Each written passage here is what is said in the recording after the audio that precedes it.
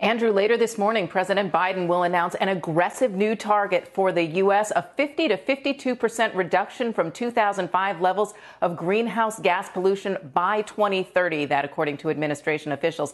This is nearly twice the pledge from President Obama in 2015.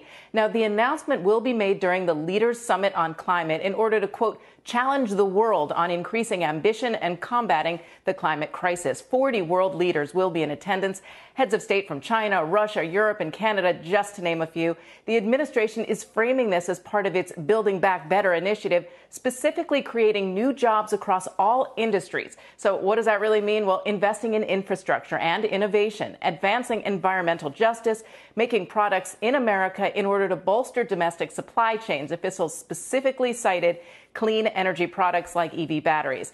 Now, the initiatives will spread across all sectors agriculture, housing, energy, transportation, construction. And that 50 to 52 percent range is in line or slightly even over the 50 percent goal that a slew of corporations, including Ford, Shell, Amazon, Pfizer, Hilton, Facebook, asked for, more than 400 of them signing a letter to the president. It is all part of the path to achieving net zero emissions by 2050. We are expecting to see even more details today as the summit kicks off, and of course, additional input from global leadership.